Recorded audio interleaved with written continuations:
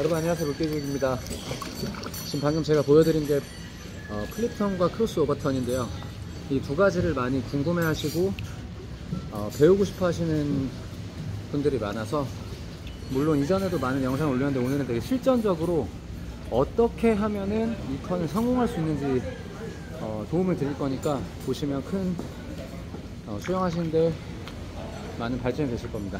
일단 플립턴을 하실 때요 몸을 돌린다, 어, 몸이 돌아간다 라고 생각하시는 것보다는 상체를 접은 후에 하체가 벽에 단다라고 이해하시면 좋다고 말씀을 드렸는데 이 동작을 연습하실 때 바로 벽에서 도는 건 굉장히 어렵습니다. 그래서 보통 킥판 두 개를 내지는 풀브이 두 개를 잡고 이런 연습 강사님이랑 해보셨을 거예요. 두 개를 잡고 앞에 손이 있다가 나중에 옆으로 돌아와서 다리에 붙어요.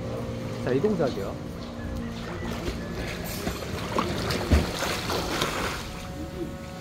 그 후에 돌아가는 건데 이거를 제가 어, 수강생들한테 시켜보면 어떻게 이해를 하시는 분들이 많냐면 손이 돌고 있을 때 이 힘으로 앞으로 돈다고 생각하시는데 정말 잘못하시는 게 뭐냐면 손을 이렇게 만드는 거는 내가 몸을 앞으로 돌리는 게 아니라 뒤로 돌아갈 때나 필요한 힘이기 때문에 절대 손이 이렇게 돌아가는 중이 아니라 다리에 붙은 후에 동작을 두 동작이라고 생각하셔야 돼요. 하나, 둘. 근데 이거를 꼭 보시면 하다, 하다 보면 손을 이 손을 사용해서 돌려고 하시는 분들이 정말 많은데 틀렸어요.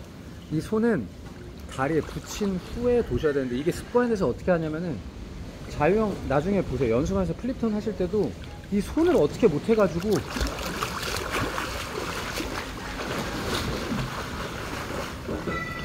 손으로 이상한 짓을 많이 하는데 플립턴이 사용하는 게 언제입니까? 저희 자유형을 하는 거. 자유형은 물을 밑으로 돌 밑으로 손이 돌아가지 옆으로 돌리는 동작이 없는데도 불구하고 이상한 연습에서 자꾸 손을 옆으로 내지는 뭐 두 개를 같이 온다던가 이렇게 하시는 분들이 많은데 절대 아니고요. 손은 반드시 다리에 붙은 채로. 근데 이게 이걸 이 연습을 먼저 하신 후에 이게 익숙해지시면 그때부터는 손을 다리에 붙이는 걸 꼭 연습하셔야 돼요. 왼손이든 오른손이든 저희 수영장 가시면 T자 있잖아요. 그걸 지나가고 나서는 손이 더 이상 앞으로 나오시면 안 돼. 이런 식으로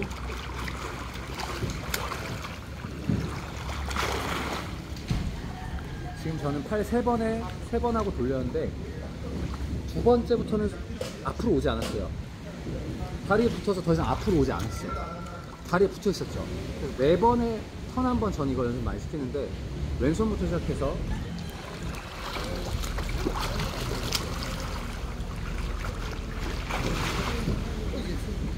여기서 주의해야 될 거는 옆으로 모든 밑으로 모든 간에 손이 다리에 붙어 계셔야 된다는 거예요. 이게 움직이시면 안 된다는 거예요. 다리에 붙고 몸으로 도셔야지 손의 힘으로 돌아간다? 이건 완전히 잘못된 개념이고 나중에 선수들은 다리에 붙은 팔을 이렇게 펴올리는 동작이 나와요. 선수들 플립턴을 할 때. 근데 저희 같은 일반인들이 굳이 이 손의 힘이 절대 플립턴에 들어가지 않는다. 이게 포인트입니다. 절대 손의 힘으로 도시면 안 돼요. 안착돼 있고 몸을 여기 무게 중심을 미간에 두시고 코를 배꼽에 감, 박는다는 느낌으로 강하게 돌지 못하시면 돌다가 중간에 몸이 막 옆으로 도시는 분들 되게 많이 생기시죠. 어쨌든 포인트는 뭐다? 손이 다리에 붙어 계셔야 된다는 거고 이렇게 많이 연습을 해보세요. 그 다음에 어, 거리 못 잡으시는 분들 이거 예전에 올린, 올렸었는데 대고 발차기 하는 거야.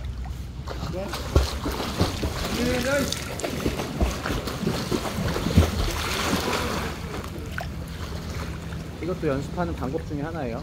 대고 발차기.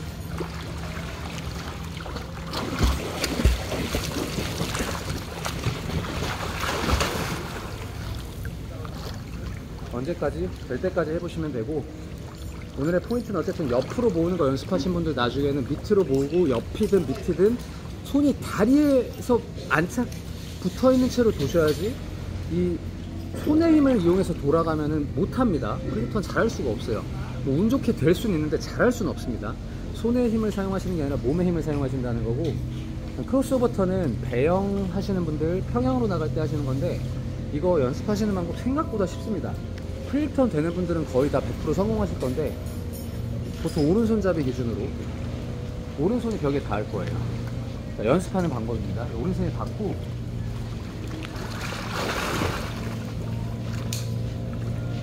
그냥 플립턴이 아니라 오른손이 벽에 닿고 플립턴을 도는 거예요.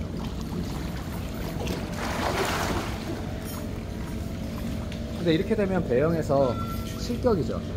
등이 보이시면 안 되기 때문에 이번엔 어떻게 하실 거냐면 배영 동작을 한 다음에 이 오른팔이 이런 느낌으로 달 거예요. 지금 카메라가 여기. 이런 느낌으로 달면 제 등이 옆을 보고 있기 때문에 이건 실격 처리가 아니에요. 이렇게 돼버리시면 실격 처리예요. 등이 보이기 때문에. 그래서 이 손이 오른손이 옆으로 가서 벽을 단 다음에 플리턴을 돌 건데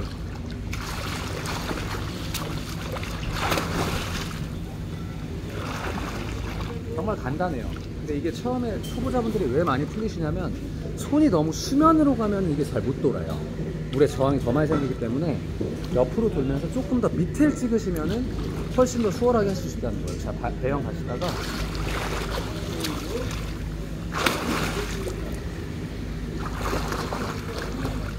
그러니까 이걸 하시려면 일단은 플립턴 제재겠죠. 플립턴을 옆으로 돈다는 느낌이 들 거예요. 그게 맞습니다. 플립턴을 도는데 약간 몸이 축이 기울어져서 돈다는 느낌으로 가시면